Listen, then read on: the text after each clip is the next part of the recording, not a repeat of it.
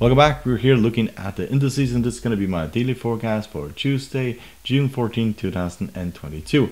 If you like support channel, you're willing to hit the subscribe button down here in the corner, hit the like button, the bell button to see our newest videos, and let's go to it. Uh, we'll start by looking at the Nasdaq, and as you can see, this was a horrible day for the market in general. So first of all, we gapped down from give or take uh, 11.8k down towards 11.6k and then we dropped another 4.26% to the downside ending up at give or take 11.3k so we haven't been this low since well we have to go far far back to see. Basically this was the September October area of 2020 that's how far we have basically dropped in this market. So officially we're in a bear market. Uh, the market has dropped uh, uh, below 20% from its very highs.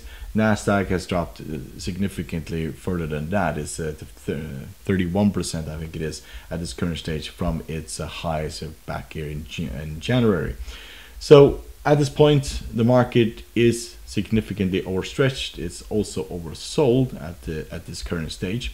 You can see that the Bollinger Band, we are way outside of the, the Bollinger Band here in the daily chart. We're on the edge of being oversold in the RSI. Stochastic is bearish and the MACD is bearish as well. So at this point, we have broken below the lows here of uh, mid, mid uh, May and therefore we will most likely continue even further. Question is how far this market will go.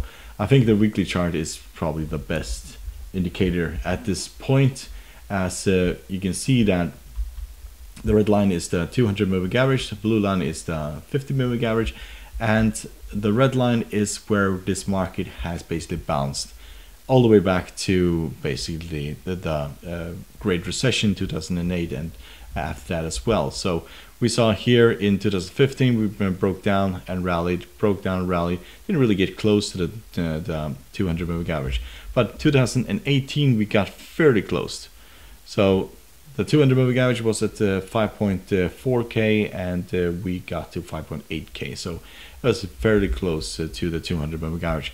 2020 we saw the crash of uh, before the coronavirus and um, or March to April in 2020. Um, and uh, here we also got very close to the 200 moving average and we're approaching the same level. If we basically break below the 200 moving average, who knows where this will go. But if we look at historical trend, then it, it, we're getting very close to the very bottom, considering the weekly chart. So we may see this market rally. We also may see the 50 moving average at some point cross the 200 moving average. And we actually haven't seen that.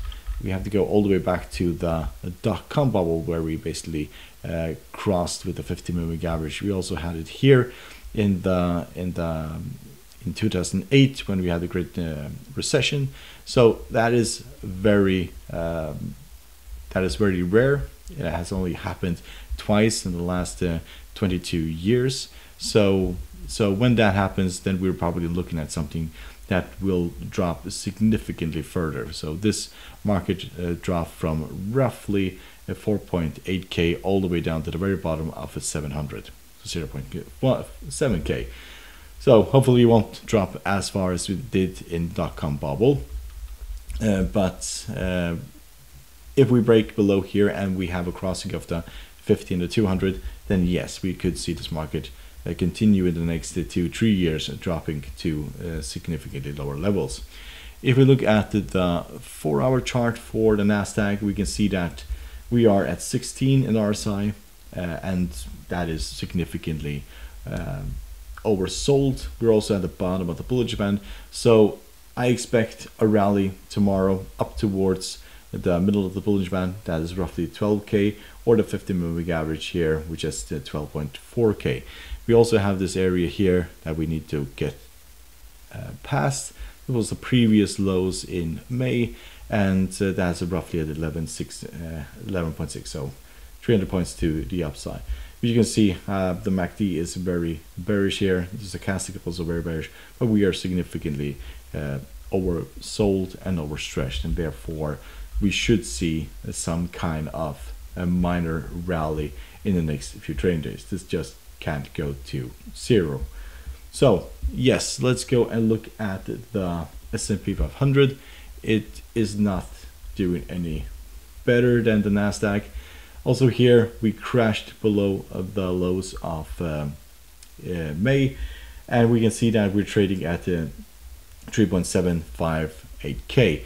So at this current stage, we are significantly overstretched. We're on the edge of being oversold in the daily chart. MACD is bearish, stochastic is bearish. So a rally at this point before going lower, it could be expected. Um, most rallies at this point getting close to the 20 simple moving average or 50 or the 200, uh, those are most likely going to get sold into.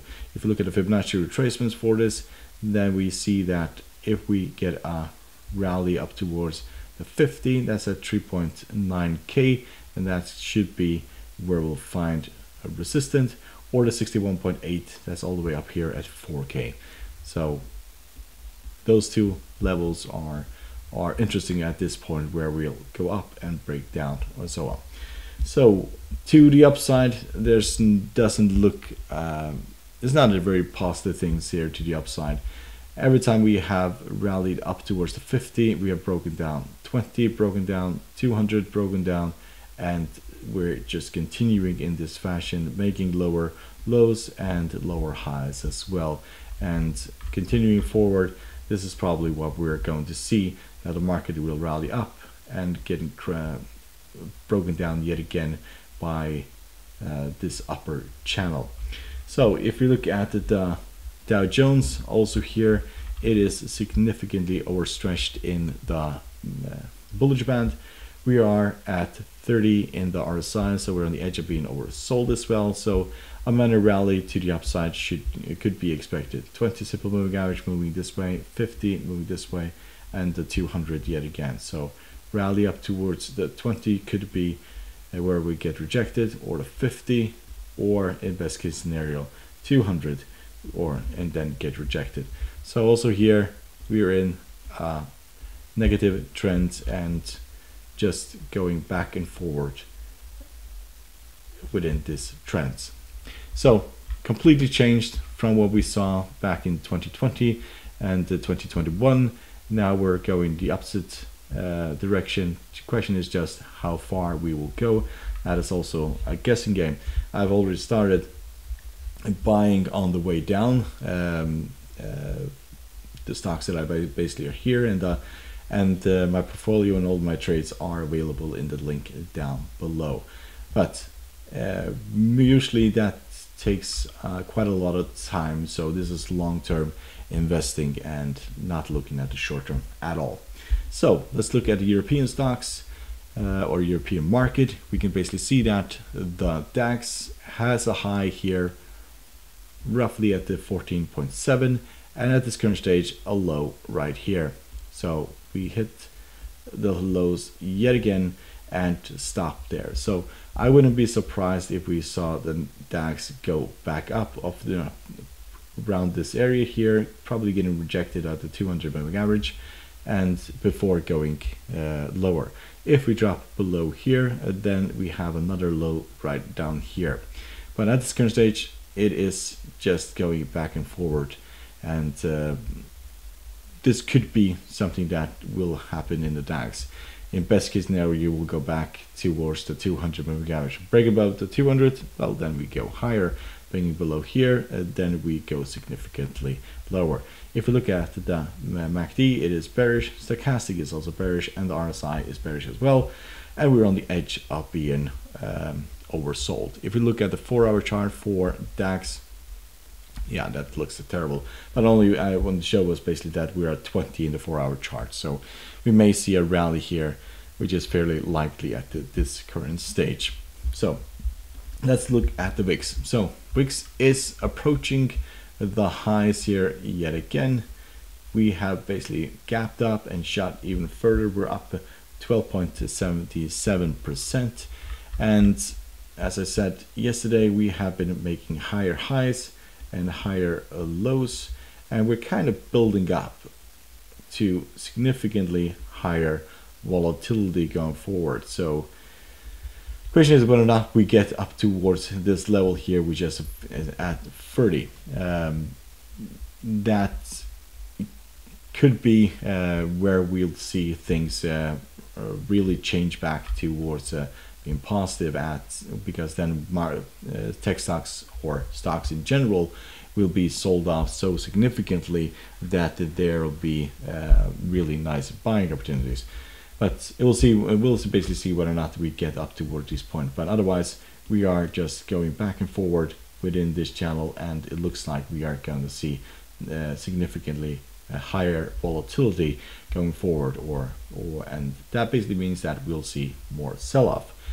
Which now we are at this point way outside of the Bollinger Band, so we may see this pull back, and that is kind of the catalyst for uh, these tech stocks and also these indices rallying uh, in the next few trading days. If you look at the MACD, it is bullish, stochastic is bullish, and the RSI is bullish as well, on the edge of being overbought. So let's look at the 10 year. This rallied 6.48% uh, today. It went all the way up towards the 3.4 and we haven't seen those levels for a very very very long time. I have to go far back in order to see those levels. But it looks like this was a flag and considering that uh, if this basically this information holds then we'll see this market go significantly further. MACD is still bullish stochastic is becoming bearish and the RSI is also bullish but we are significantly overbought at this point and therefore we may see this um, pull back towards the 50 moving average before continuing higher. So hope you found this helpful. You want to support channel by subscribing, hit the like button and the bell button to see our newest videos. Good luck and thank you very much.